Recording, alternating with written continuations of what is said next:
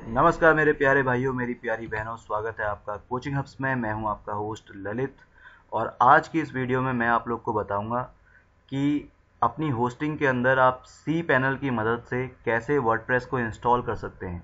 और जो ये वीडियो मैं बना रहा हूँ, ये दो कैटेगरी के अंदर जो लोग आते हैं, उन लोग के लिए फ़ायदेमंद है। सबसे पहले कि जितने भी नए ब्लॉगर हैं जिन लोगों ने नया होस्टिंग डोमेन ले रखा है तो उनको आइडिया होना चाहिए कि कैसे इंस्टॉल किया जाता है वर्डप्रेस को। और दूसरे, जितने भी इस तरह का काम करते हैं एज अ फ्रीलांसर जो लोग इस तरह की चीज़ें करते हैं तो उनको भी आइडिया होना चाहिए, क्योंकि क्लाइंट की कभी रिक्वायरमेंट आती है कि फ्रेश इंस्टॉलेशन उनको चाहिए होती है। तो उसके लिए ये वीडियो मैं आप लोग के लिए बना रहा हूँ।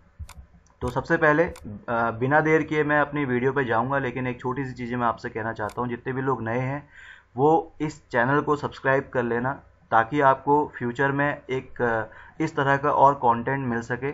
और मैं आगे एक सीरीज़ तैयार करने की कोशिश करूँगा, जिसमें मैं सारी चीज़ें बताऊँगा वर्डप्रेस के बारे में थीम्स के बारे में, और जो भी डिटेल्स होती हैं वैल्यूएबल वो सारी चीज़ें मैं आपको बताऊँगा। तो इस, आप सब्सक्राइब कर सकते हैं, अगर करना चाहें तो। तो अब सबसे पहले सबसे पहले जो भी आपकी होस्टिंग है, चाहे होस्ट गेटर हो, चाहे आपका गोडैडी हो, या कुछ भी हो, उसके सी पैनल में आप लोगों ने जाना है, और सी पैनल में सबसे लास्ट में आपको इस तरह का एक कोई आइकन दिखाई देगा एक मेन्यू ऑप्शन दिखाई देगा वेब एप्लीकेशंस नाम से। अब लेआउट आपके सी पैनल का कुछ भी हो सकता है। ऐसा मत सोचना कि ये लेआउट जो मेरा दिख रहा है, आपके उसमें नहीं आया इस तरीके से तो आप नहीं कर सकते या दिक्कत आएगी। कुछ भी हो आपका, चलेगा, बस आप ये देखना कि वेब एप्लीकेशंस कहाँ पर लिखा है। और मोस्टली सी पैनल पे ये होता ही होता है। तो यहाँ पर क्या करना है आपने, इसमें आप देखेंगे कि वर्डप्रेस नाम का ये ऑप्शन आ रहा है मेन्यू आ रहा है। तो आपने इस पर क्लिक करना है वर्डप्रेस पे। ठीक है?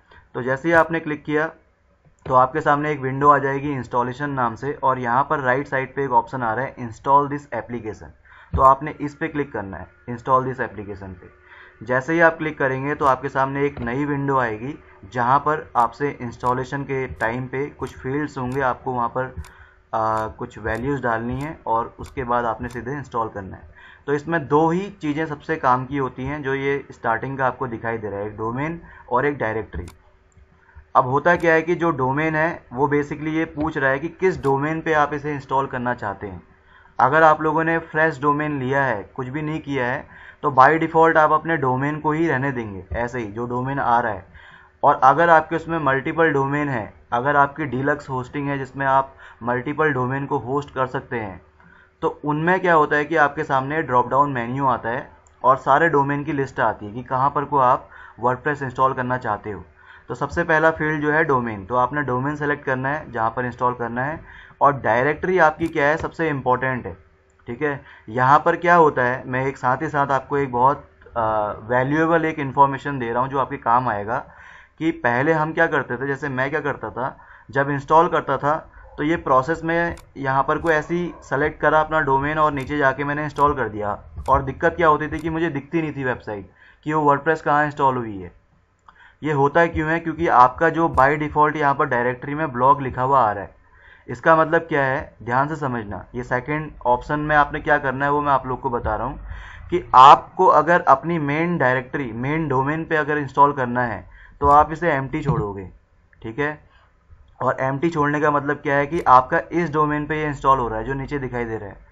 अगर आपको अपने डोमेन के अंदर एक सब डायरेक्टरी बना रहे हो आप, कोई एक डायरेक्टरी और बनाते हो, उसके अंदर इंस्टॉल करना है तो फिर यहाँ पर को आप उसे डायरेक्टरी को डिफाइन करना होगा। जैसे अभी मेरा ये वेबसाइट जो है स्कैम टेल डॉट कॉम नाम से, वो मैं आपको दिखा देता हूँ। ये मेरी स्कैम टेल डॉट कॉम नाम से एक वेबसाइट है, ठीक है? अभी यहाँ पर ऑलरेडी वर्डप्रेस इंस्टॉल है तो मैं इसके अंदर तो वर्डप्रेस इंस्टॉल करूँगा नहीं। मुझे अभी आप लोग को एग्ज़ाम्पल दिखाना है तो मैं एक सब डायरेक्टरी के अंदर, इसी के अंदर एक डायरेक्टरी बनाऊँगा जो यूट्यूब फैमिली नाम से मैं बना देता हूँ, ठीक है? यूट्यूब फैमिली नाम के अंदर, इसके अंदर मैं इंस्टॉल करूँगा वर्डप्रेस तो ये सेकेंड ऑप्शन जो है वो इसके लिए है, यानी कि जब आप इसको ओपन करेंगे टोटल ये डालेंगे, तब जाके आपका वो वर्डप्रेस इंस्टॉलेशन आपको दिखाई देगा, यानी कि आपकी वेबसाइट दिखाई देगी। तो आप समझ गए होंगे, जहाँ तक मुझे लग रहा है, लेकिन फिर भी कोई दिक्कत होती तो कमेंट पे आप लिख देना, कुछ भी अगर आपको लगता है। तो यहाँ पर मैंने डायरेक्टरी डाल दी। तो अभी जो ये मेरा इंस्टॉल होगा, वो इस डायरेक्टरी के अंदर इंस्टॉल होगा यूट्यूब फैमिली के अंदर। जो पूरा मेरा ओपन होगा, मुझे ये पूरा यूआरएल डालना पड़ेगा, तब मुझे दिखाई देगा अपना इंस्टॉलेशन तो यहाँ पर मैंने डाल दिया यूट्यूब फैमिली उसके बाद नीचे जाते हैं। ये एक क्विक इंस्टॉलेशन है। इसमें मैं आपको बहुत क्विक चीज़ें बता रहा हूँ। ज़्यादा आपको इसमें वो करने की ज़रूरत नहीं है, ठीक है? एडमिन यूज़र नेम के अंदर आप डालते हैं। जैसे मैं कुछ भी डाल देता हूँ, अभी एडमिन डाल देता हूँ और पासवर्ड के अंदर मैं डालता हूँ एडमिन ठीक है? आप जब डालोगे यूज़र नेम आप जो भी डालो, लेकिन पासवर्ड आपका थोड़ा सिक्योर होना चाहिए। और जो स्टैंडर्ड पासवर्ड होते हैं, जैसे एक कैपिटल में, एक स्मॉल में, एक न्यूमेरिक तो इस तरह का पासवर्ड बना के डालिएगा।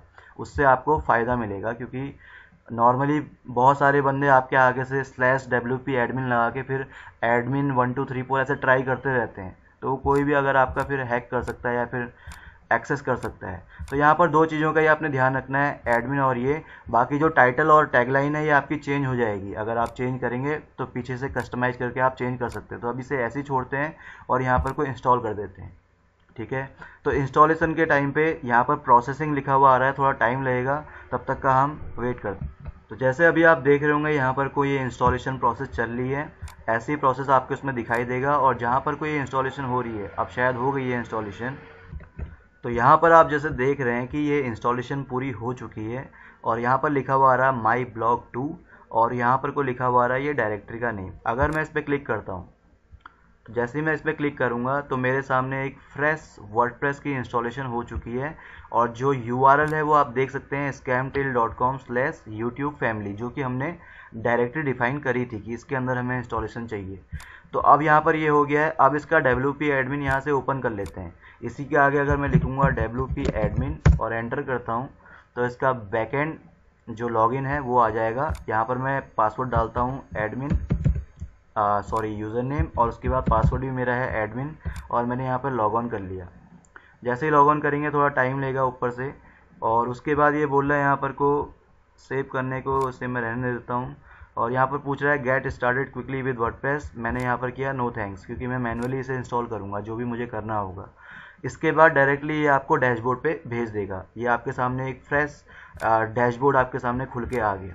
अब इस डैशबोर्ड के अंदर जब इतना कर लिया है आपने तो थोड़ी एक आध चीज़ें और बता देता हूँ कि आपने जैसे थीम इंस्टॉल करनी है तो मेन दो चीज़ें आपको चाहिए। सबसे पहले तो आप थीम को देखेंगे, उसके बाद जो प्लगइन होते हैं, वहाँ पर जाके आप प्लगइन इंस्टॉल करेंगे। मोस्टली सारे लोग को, बहुत सारे लोग को पता होगा, लेकिन मैं बता देता हूँ, जो नए लोग होंगे, कि अपीरेंस पे जाके मैं थीम में जाऊँगा। अभी उस, मेरे उसमें जो थीम चल रही है, वो है ट्वेंटी ट्वेंटी नाइनटीन ठीक है? तो मैं यहाँ से क्या करता हूँ, एक नई थीम इंस्टॉल करता हूँ। तो यहाँ पर मैं गया ऐड न्यू पे मैंने क्लिक किया, और ऐड न्यू पे क्लिक करने के बाद मेरे सामने यहाँ पर मल्टीपल थीम्स आ रही है। ठीक है? तो इसमें से आप लोग देख लेना, जो आपको थीम सही लगती है। जैसे एग्ज़ाम्पल के लिए मैं अभी कोई कोई भी एक थीम इसमें इंस्टॉल कर लेता हूँ। जैसे ये आ रहा है तो इसे मैं इंस्टॉल किया। यहाँ पर इंस्टॉलिंग लिखा हुआ आ रहा है। तो अब जैसा कि आप देख सकते हैं, यहाँ पर इंस्टॉल लिखा हुआ आ रहा है। और अभी जो एक्टिवेट है थीम मेरे इसमें, वो ये वाली थीम 2019 एक्टिवेटेड है। तो अब मैं इसको एक्टिवेट करता हूँ, जो मैंने अभी इंस्टॉल किया है। तो मैंने यहाँ पर क्लिक किया एक्टिवेट वाले में तो ये यहाँ से एक्टिवेट कर देगा। एक्टिवेट करने के बाद एक मेन चीज़ होती है कि अपेयरेंस के अंदर जो ये ऑप्शन आता है अपेयरेंस का, इसमें कस्टमाइज नाम से एक ऑप्शन आता है। इसमें आपने क्लिक करना है, इस मेन्यू पे आपने क्लिक करना है और कस्टमाइज मेन्यू पे जाने के बाद आपके सामने एक नई विंडो ओपन होके आएगी, जहाँ पर लेफ़्ट साइड पे आपके सारे ऑप्शन दिखाई देंगे, जिससे आप अपनी वेबसाइट को कस्टमाइज़ कर सकते हैं। तो ये एक बेसिक सेटअप था, जो मैंने आपको दिखाया कि किस तरीके से ये होता है। इसके आगे मैं एक वीडियो बनाऊँगा, जहाँ पर वो कुछ पॉपुलर थीम जो हैं, जैसे न्यूज़पेपर है कलर मैग है तो उन थीम्स को कैसे आपने डेमो डाटा के साथ इंपोर्ट करना है, कैसे आप उन पर कस्टमाइज करोगे तो वो सारी चीज़ें मैं बताऊँगा। उसके अलावा उसके अलावा मैं आप लोग को बताऊँगा कि जितने भी आप ऑप्शन देखते हो, ये वर्डप्रेस के अंदर जैसे पोस्ट है पेज है मेन्यू कहाँ से क्रिएट करना है? राइट साइड बार है, उसमें कैसे आपने अपने विजिट्स को ऐड करना है? तो वो जितने भी मेन चीज़ें हैं जो काम की हैं, वो सारी मैं आपको बताऊँगा ताकि जो भी एक नॉर्मल बंदा भी अगर कोई है तो वो अपनी वेब वेबसाइट को सही तरीके से प्रॉपरली इंस्टॉल कर सके और उसमें कस्टमाइजेशन कर सके। तो वो कुछ चीज़ें जो होंगी, वो मैं आप लोग को बताऊँगा। तो यही था ये पूरा वीडियो बने रहिए मेरे साथ। तब तक के लिए खुश रहो, आबाद रहो, इधर रहो या गाजियाबाद रहो।